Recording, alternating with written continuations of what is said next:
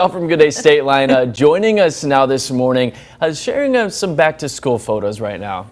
We're actually not quite there yet, Elliot. We were talking about Good Day like, Wait, I know you're excited. we'll get to that. We'll get to that a little later. This morning, though, we're talking about uh, Good Day Stateline this Sunday at 9 on WTVO. Another great episode. And we are going to bring you to Bessie's Diner in Janesville. We're talking about their entire menu and they're flying next Saturday. Um, but the part I want to show you is what happened when they gave me a whipped cream can. Do you have to be taller than me to no, do this? I you're the right like- height. You're just the right height. Woo! just the right height. I was trying to make an M. That's not what happened. I feel like I do have to get them over here though. That's beautiful. It's you guys. Yep. This is the best mm-hmm. pancake anyone's ever had. Ever. Ever. Mm-hmm. I have to commend myself though. Do you see any whipped cream on me? No, there's none. No, there's none it's on just her. all over everywhere It's else. It didn't hit perfect. the camera either.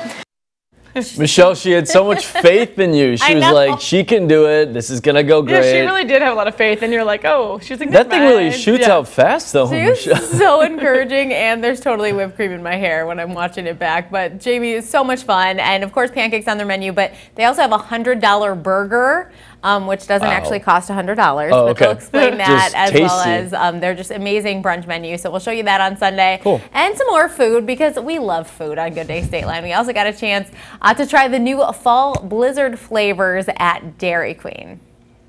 This is so good. Oh we yeah. What's your favorite one? Uh, caramel apple right now. It's really good. The apple pieces, like the topping, I don't know. It's just, it's like your grandma's apple pie. It's, it's Like great. my grandma, my grandma doesn't make apple pie. She makes spaghetti sauce. Oh. But I believe you that it's like so. I'll try that one too. Hand me another Okay. spoon.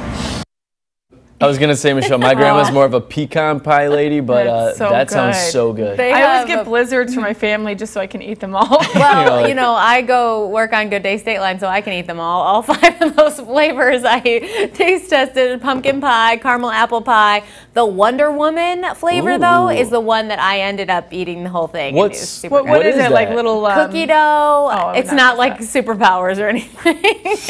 I was like, tell us Cookie more. dough. I forget what else was in it, but it was so super good. Um, so on Sunday when you watch, I'll super good. remember what was in it. Yeah, we have the an update with the census as well. Uh, we're talking about mental health with the Red Cross, International Day of Peace, essential oil experts, plus that mask giveaway. All right, 9 o'clock Sunday morning. we'll be back after the break.